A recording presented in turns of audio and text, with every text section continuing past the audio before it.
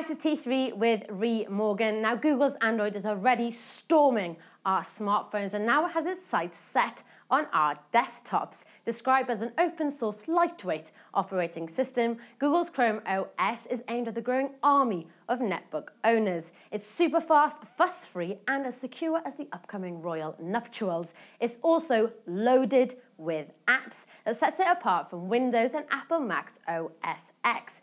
We've got a couple more months to wait until we get dedicated hardware for the OS, but get your list of must-have apps ready as we run down the 10 you must have for Google Chrome OS. Number 10 is Entanglement, and it wouldn't be a list if we didn't have a game. This isn't one for the serious PC gamers, but for casual gamers, it's a must-have. The aim of the game is to rotate hexagonal squares to extend the length of a tangled line. The best part is, it's also available offline. It's hours of endless fun. Number nine is WikiHow Survival Kit. Do you know how to survive a bear attack? Land a plane or what to do in a riot? No, well you'll be needing WikiHow Survival Kit then. As well as testing your bear fighting skills, it has tips on first aid and also the essential how to change a tyre. Number eight, we have BeFunky's photo app. Now, if you're a member of Team Apple, you'll undoubtedly own Color Splash, and now Be Funky has brought it to Google Chrome's OS. Change your bog standard pics into Rankin-esque masterpieces. Well, sort of. Number seven is one for the more frugal amongst us. It's eBay's extension for Google Chrome OS.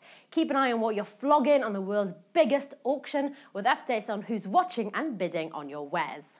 Number six is the Google Chrome to Phone extension, a simple but effective app. This app allows you to push links, maps, selected text and phone numbers directly to your Android device.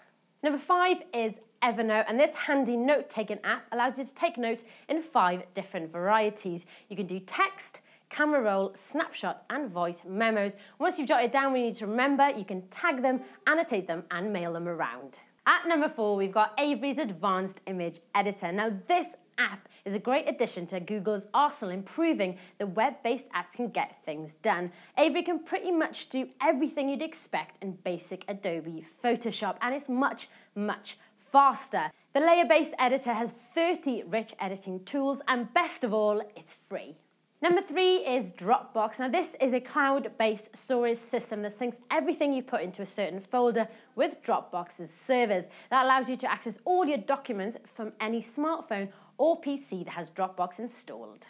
Coming in at number two, we have TweetDeck. The much loved app is an essential Google Chrome app. Keep everything neat and tidy for your Twitter account in three handy columns for app mentions, direct messages, and friends. And sitting pretty at number one, we have the essential Google Chrome OS app. It is Google Docs. Who needs Microsoft Office when you can access your presentations, spreadsheets, and word processing docs everywhere and anywhere?